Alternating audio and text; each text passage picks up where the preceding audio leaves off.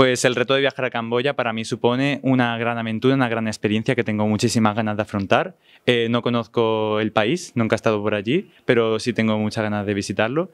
Y además, acompañado, también acompañado como estoy con la gente de Manos Unidas, pues estoy seguro de que va a ser un gran placer.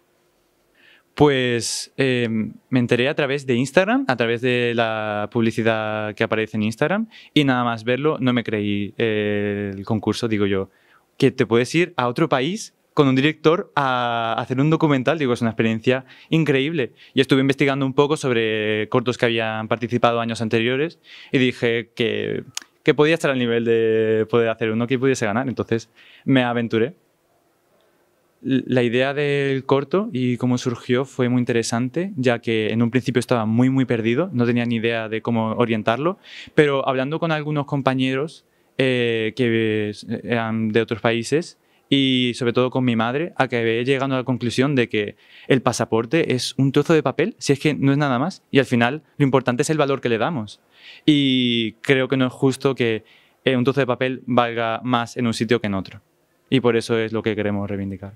El interés por eh, las personas desfavorecidas eh, creo que es un tema que está actualmente muy visto en redes sociales y que es un tema de preocupación por los jóvenes, pero que no llega a un punto de acción.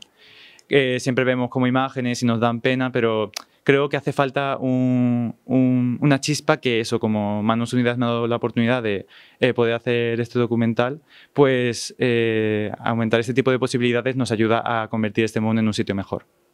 Pues para mí lo más complicado ha sido encontrar una idea que me convenciese, que sea una idea con intención, con de alguna manera intentar transmitir el, sentimiento que yo tengo hacia este tipo de cosas y que fuese algo de, en cierta parte, atractivo y que impactase. Porque yo creo que eso es muy importante, el hecho de muchas veces vemos imágenes tristes y no nos transmiten nada porque estamos hartos de verlas.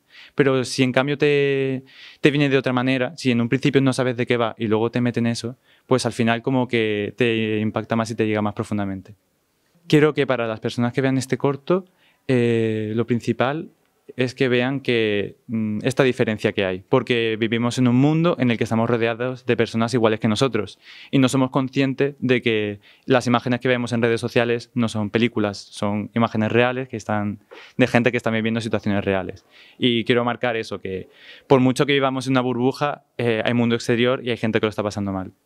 Tú, el que me está viendo a través de esa cámara, eh, que sepas que yo soy una persona igual que tú y que vi, estoy mirando Instagram y vi este anuncio igual que tú y que si yo he podido conseguirlo y estoy flipando, es que tú puedes hacerlo también. Y que os animo que no es algo tan complicado y que lo principal es tener esa motivación y echarle ganas. Así que mucha suerte a todos.